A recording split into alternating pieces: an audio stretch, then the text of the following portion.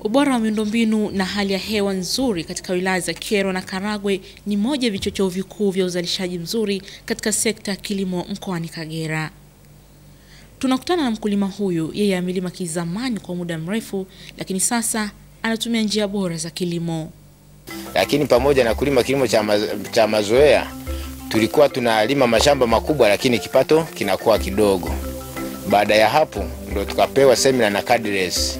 Mimi semina, tulivyopewa semina iliniingia sana, nikaona kwamba ni kilima kilimo cha kisasa kinaweza kunipa mafanikio zaidi. Pia tunakutana na Sefroza Rugaimukamu, amelima siku nyingi na sasa anaona kilimo mseto ni mkombozi wa mkulima. Kahawa tunazo muda mrefu na tunanufaika tuna, kwa mapato yake.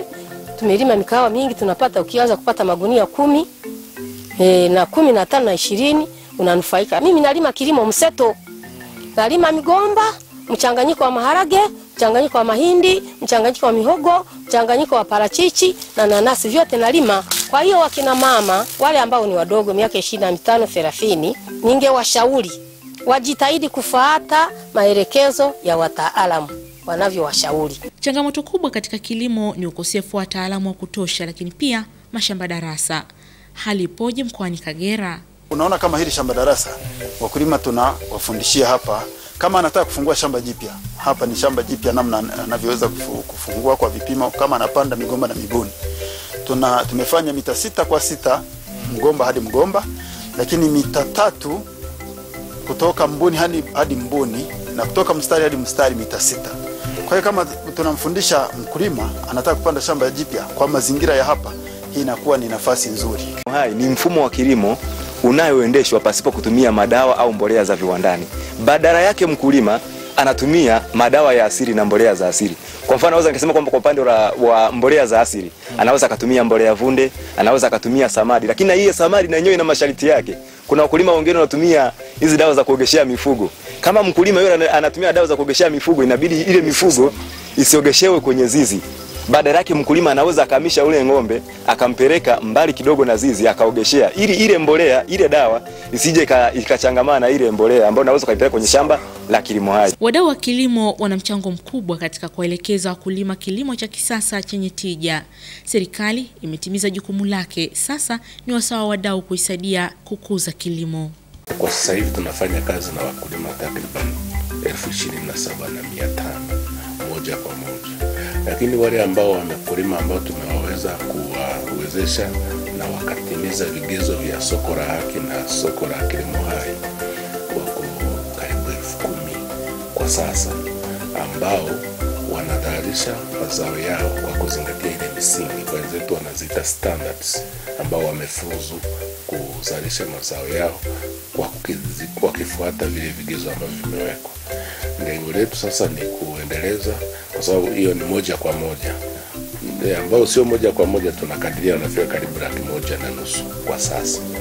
Kwa hiyo lengo letu ni kuendeleza hizi jitihada na kuwanufaisha wale wakulima ambao wako moja ambao wamesha wamesha kibi vigezo moja kwa moja, ili sasa watumike kama kama shule kwa wengine, lakini pia na wengine wanapoona wale wananufaika ili na wewe waweze kujifunza na kutimiza yale masharti. Na serikali ya awamu ya tano inahimiza uzalishaji kupitia viwanda, lengo likiwa ni kufikia uchumi wa kati mwaka 2025. Tunafikaje huko?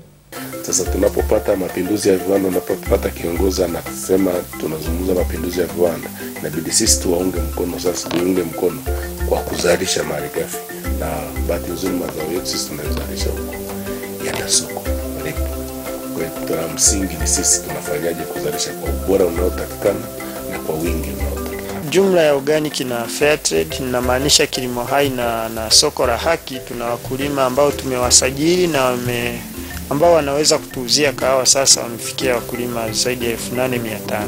Wito wa wataalamu wa kilimo nchini ni uzalishaji wa kisasa utakaoleta tija. Hata hivyo, bado wakulima ni wagumu kuielewa dhana hii. Tuache yale mazoea ya kuandaa kahawa holela holela, kwa maana kwamba ukiangalia hata hizo kahawa ninazokuambia trade na organic, tungekuwa na uwezo wa kupata tani hata elfu ishirini za trade na organic, tungekuwa na masoko mazuri, mkulima angekuwa anapata pesa nzuri. lakini bado tunapata changamoto. Wakulima inakuwa ni vigumu kubadilika, unamsajili mkulima hata kabla haja graduate kuingia organic, kwa sababu tunapokuwa na organic hatu, hatuanzi mwaka wa kwanza mkulima anakuwa ni organic. Tuna mwaka wa kwanza ambao tumemregister inakuwa ni C0, tunakuwa na mwaka wa pili C1, mwaka wa tatu ambao ni C2. Sasa para amemaliza ile miaka mitatu, kiujumla ni miaka miwili, lakini ule mmoja wa nyuma wa kumregister tuhesabu kama kama kama organic. Kwa hiyo ile awe full organic certified lazima awe ametimiza miaka mitatu na awe ametimiza vigezo. Lakini mtu mwingine anavumilia mwaka wa kwanza wa pili, mara unakuta ametumia madawa, ametumia chemicals shambani, kwa hiyo lazima unamsanction. Kwa hiyo wakulima wao wavumilivu na mambo mazuri hayahitaji haraka.